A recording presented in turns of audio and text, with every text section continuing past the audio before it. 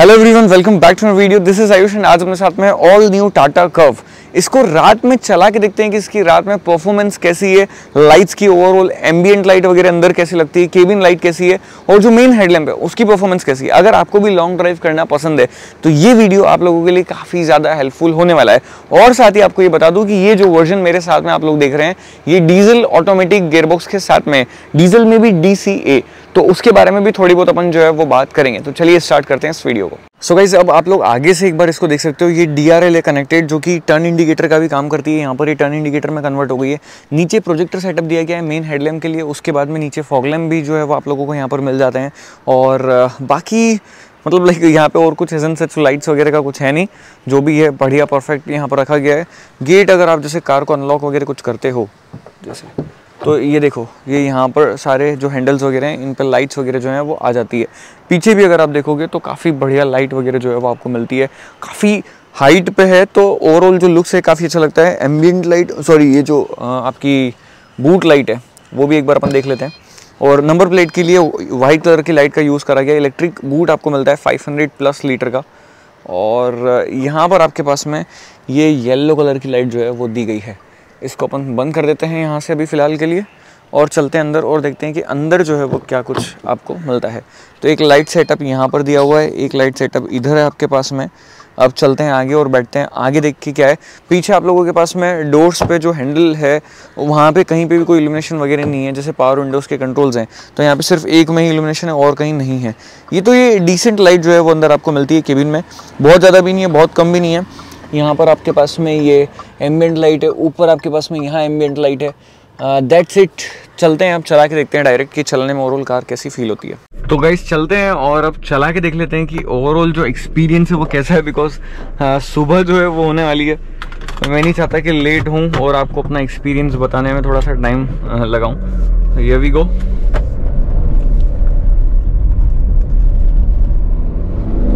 very nice store की engine. Like literally बहुत ही प्यारा इंजन ये फील होता है चलाने में। इन सब चीज़ों के ऊपर बाद में आते हैं। सबसे पहले मैं बात करता हूँ ओवरऑल जो गाड़ी की हैंडलिंग वगैरह है वो कैसी है?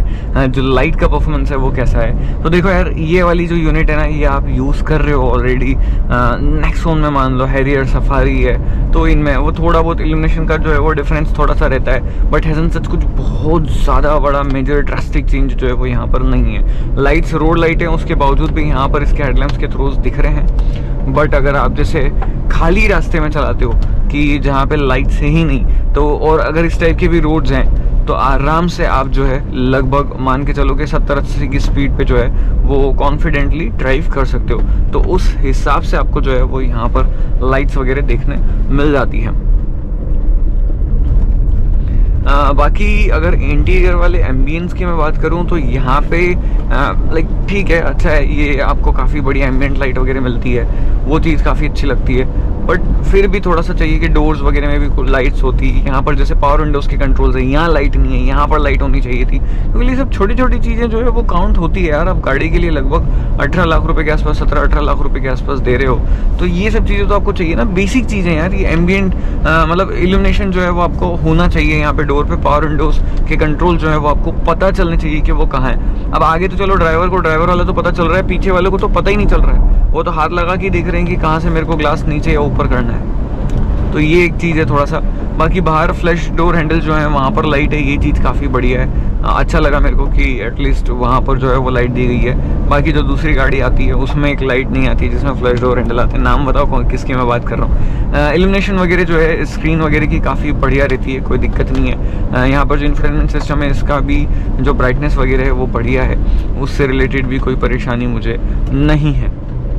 ठीक है। अब बात कर लेते हैं थोड़ा बहुत आ, ये जो बड़ी लाइट्स हैं जैसे इसके बारे में बता दूँ आपको। तो ये भी देखो यार सफिशियंट उजास जो है वो आपको देती है। बढ़िया एक थ्रो जो है वो आपको अंदर मिलता है जहाँ पे पूरा केबिन जो है वो आपका लीटअप हो जाता है। और आपका मोटा मोटा सारा काम जो है बन जाना, कोई भी चीज़ें अगर आपको देखनी है नीचे तक इवन तो फ्लोर तक जो है वो इस लाइट से दिखती है। तो मुझे इससे कोई भी शिकायत नहीं है। उसके बाद में आपके पास में पैनोरामिक सनरूफ है तो ये भी मतलब ऐसा है थोड़ा सा एड ऑन कर देता है। अगर आप इसको ऐसे खोल के भी रखोगे, तब भी अच्छे लगेगा।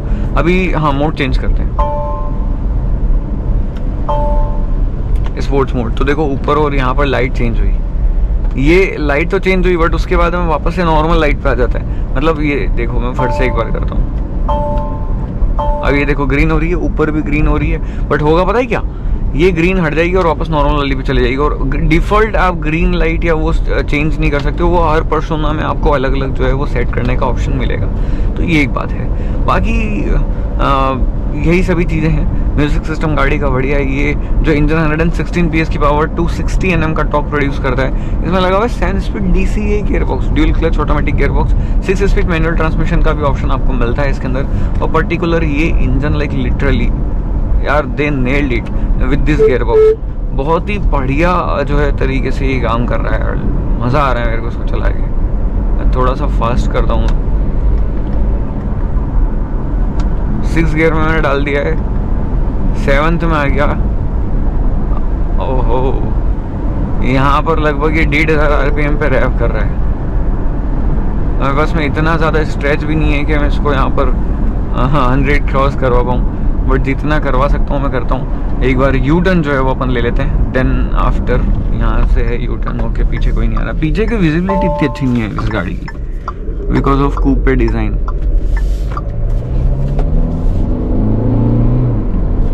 रॉर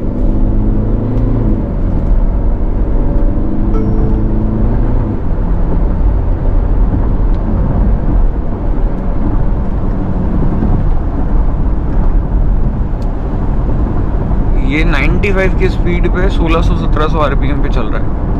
मतलब ये मान के चलो कि ये जो डी सी गेयरबॉक्स है ना, ये माइलेज आपको बढ़िया निकाल के दे देगा। लाइक लिटरली ट्रस्ट में मेरे को इसका माइलेज टेस्ट करना चाहिए बट अभी मेरे पास में इतना टाइम नहीं है। बट फॉर श्योर मैं सून इसका माइलेज कर, टेस्ट करके जो है वो आपको बताऊँगा कि कितना माइलेज जो है वो ये इंजन रिटर्न करता है।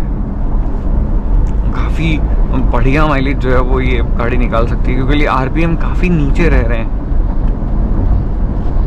ये देखो डीपर भी देते हैं तो फील है कि मतलब हाँ गाड़ी सामने वाली हट रही है।